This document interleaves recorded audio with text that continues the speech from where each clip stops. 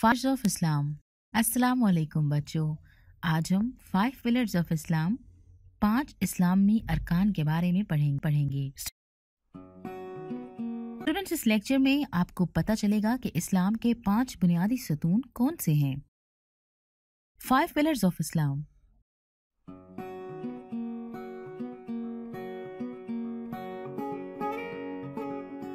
آئیے اس حوالے سے ایک اینیمیٹڈ ویڈیو دیکھتے ہیں۔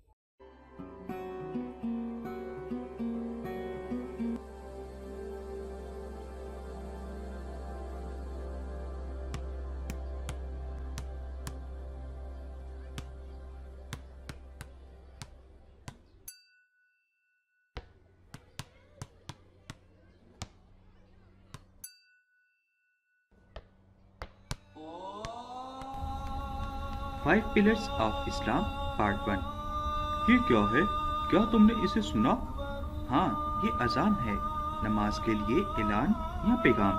اس کا مطلب ہے نماز کا جلد وقت ہونے والا ہے۔ مجھے جانا ہوگا اور نماز ادا کرنا ہوگی۔ تم نماز کیوں پڑھتے ہو؟ میں مسلمان ہوں، میرا مذہب اسلام ہے اور مسلمان ہونے کا مطلب ہے دن میں پانچ وقت نماز ادا کرتا ہوں۔ ہم نماز ادا کرتے ہیں طلوع آفتاب سے پہلے، دوپہر کو، دوپہر کے بعد کے وقت، سورج گروپ کے وقت اور رات کے وقت سونے سے پہلے۔ ہم اللہ تعالیٰ کی دی ہوئی تمام نعمتوں کا شکر ادا کرنے کے لیے نماز ادا کرتے ہیں۔ او بہت دلچسپ۔ تو کیا اسلام سارا دن؟ او بہت دلچسپ۔ تو کیا اسلام سارا ان کے متعلق ہے؟ مسلمانوں کا یقین ہے، اللہ صرف ایک ہے۔ عربی میں خدا کا نام اللہ ہے۔ وہ ہر چیز کا بنانے والا ہے۔ خدا نے سورج، چاند، ستارے، آسمان بنائے اور اس نے زمین پر موجود ہر چیز بنائی۔ مجھے تمہیں پودے، پھول، جانور اور یہاں تک کہ سب سے چھوٹے حشرات کو بھی اسی نے بنایا۔ خدا نے پوری کائنات بنائی۔ اسلام کے پانچ ستون ہیں۔ ہر مسلمان کا ان پانچ ستونوں کا ادا کرنا بہت ضروری ہے۔ اور وہ یہ ہیں۔ یقین نماز، زکوٰۃ، روزہ اور حج۔ یقین، سب سے پہلے ستون کا مطلب ہے کہ اللہ پر یقین رکھنا اور یہ یقین رکھنا کہ اکیلا خدا ہے اور یہ کہ محمد صلی اللہ علیہ وآلہ وسلم اللہ کے پیغمبر ہیں۔ دوسرا رکن نماز ہے، جو دن میں پانچ بار ادا کی جاتی ہے۔ اور جیسا کہ میں نے پہلے بتایا، ہم طلوع آفتاب سے پہلے، دوپہر کو، دوپہر کے بعد، غروب آفتاب کے وقت اور رات کو نماز ادا کرتے ہیں۔ اتنی زیادہ نمازیں ادا کرنا کیسا لگتا ہے؟ یہ مشکل نہیں ہے؟ نہیں، بالکل بھی نہیں۔ ہم خدا کی عبادت کرتے ہیں۔ اور جب مجھے یاد آتا ہے کہ یہ خدا ہی ہے جو مجھے صحت مند رکھتا ہے اور میری سانس چلنے دیتا ہے، تو یہ مجھے دکھاتی ہیں کہ میں دعا کروں۔ تیسرا رکن حیرات ہے، جسے زکوٰۃ بھی کہتے ہیں۔ زکوٰۃ کے لفظی معنی ہے پاک صاف کرنا۔ زکوٰۃ کا مطلب ہے، سال میں صرف ایک بار پچیس فیصد اپنے مال میں سے دینا۔ اس کا مطلب ہے اگر آپ کے پاس سو پاؤنڈ ہیں، تو اس کا صرف پچیس فیصد غریبوں کو، تو اس کا صرف پچیس فیصد غریبوں کو دینا، جو کہ صرف two point five zero pound ہیں۔ اگر اس دنیا میں ہر بندہ یہ کرے، تو کوئی بھی غریب نہ رہے۔ چوتھا رکن ہے روزہ۔ عربی میں اسے سوم کہتے ہیں۔ دنیا میں ہر مسلمان رمضان کے مہینے میں روزہ رکھتا ہے۔ صبح صرف ایک بار کھانا اور پھر تب کھانا جب سورج غروب ہو۔ روزے ہمیں غریبوں اور ضرورت مندوں کی یاد دلانے میں مدد کرتے ہیں۔ یہ ہمیں اپنے نفس کو کنٹرول کرنے میں خود غرضی لالچ اور سستی پر قابو پانے میں ہماری مدد کرتا ہے۔ روزے کا اصل مقصد اللہ کی رضا اور اس کے قریب ہونا ہے۔ آخر میں پانچواں رکن حج ہے۔ حج زندگی میں ایک بار کم از کم مکہ میں خانہ کعبہ کے طواف کو کہتے ہیں۔ ذی الحج کے مہینے میں ہر مسلمان کو حج کے لیے اپنی زندگی میں کم از کم ایک بار ضرور جانا چاہیے۔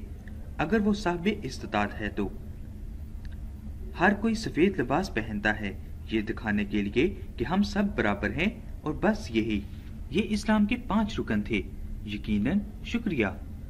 بہت اچھا لگا۔ تم نے مجھے اپنے مذہب اسلام کے بارے میں بتایا۔ کوئی مسئلہ نہیں ہے۔ تم کبھی بھی کچھ بھی پوچھ سکتے ہو۔ لیکن ابھی مجھے میری اثر کی نماز کے لیے جانا ہے۔ ٹھیک ہے، پھر ملتے ہیں۔ ٹھیک ہے، خدا حافظ۔ کیا تم آ کر دیکھنا چاہو گے میں کیسے نماز ادا کرتا ہوں؟ ٹھیک ہے، ضرور۔ امید ہے آپ کو یہ انیمیٹڈ ویڈیو دیکھ کر اندازہ ہو گیا ہوگا کہ اسلام کے پانچ ستون کون سے ہیں۔ پیارے بچوں، اب میں آپ سے کچھ سوالات پوچھوں گی اور اس بات کا مجھے آئیڈیا ہے کہ ویڈیو دیکھنے کے بعد آپ کو ان سوالات کے جوابات میں کوئی مشکل نہیں آئے گی۔ اسلام کا کیا مطلب ہے؟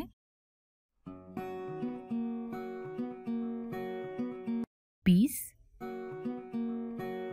a مسلم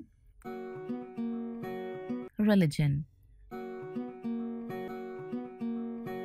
اور جواب ہے پیس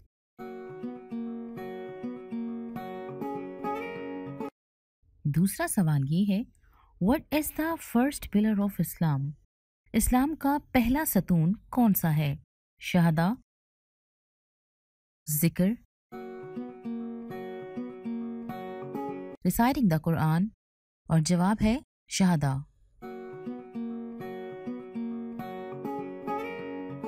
ایک اور سوال آپ سے پوچھتی ہوں، اسلام کا دوسرا رکن کون سا ہے؟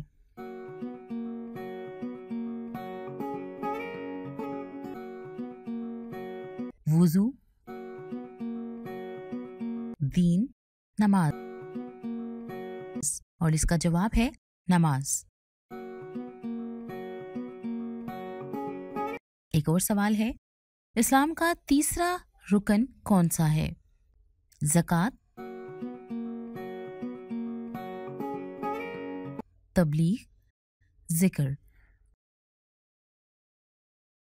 اور اس کا جواب ہے زکوٰۃ۔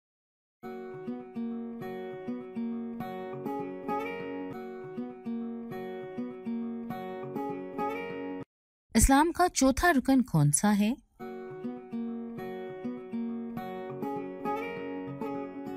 دعا، کلمہ سوم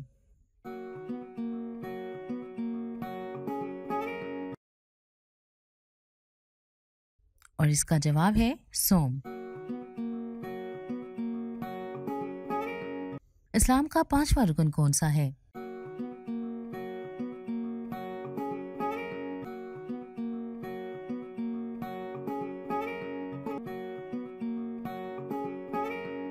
اور اس کا جواب ہے حج۔ آئیے اس حوالے سے ایک اینیمیٹڈ ویڈیو دیکھتے ہیں۔